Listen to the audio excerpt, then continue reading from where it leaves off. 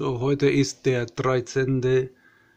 Juli und wie ihr seht, hier zeigt die Temperatur 19,8 Grad und tatsächlich haben wir draußen auch 19,8 Grad, aber wenn die Sonne drauf scheint, dann sind die Temperaturen exponentiell nach oben. Gestern zum Beispiel habe ich mir aufgeschrieben, jede eine Minute, mir war langweilig, mir war auch nicht, äh, konnte mich nicht bewegen, aber egal, wir hatten hier Temperaturen 17.28 Uhr plus 37,8 Grad.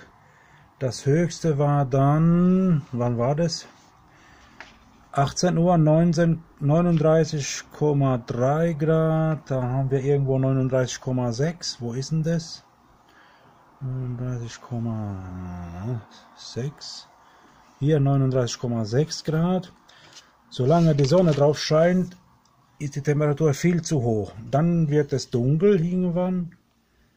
Man sieht ja 20.19 Uhr schon 31 Grad. Und dann merkt man peu à peu, die Temperaturen gehen weiter zurück, weil die Sonne nicht mehr scheint. Ne? 21 Uhr 24,3 Grad.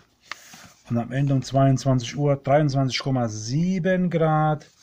Und laut der App hatten wir draußen 22, so nähert sich an, dem, an der Temperatur. Und wir hatten dann laut der App 28 Grad und draußen waren 39,6 gemeldet. Und dann auf einmal merkt man, wenn die Sonne weggeht, ist die Temperaturkurve wieder normal.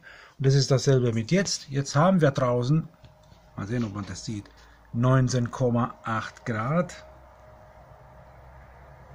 Sobald die Sonne draußen scheint, dann geht es exponentiell nach oben. Dann wenn wir dann oben 20, 25 Grad haben, dann zeigt er 35, 34.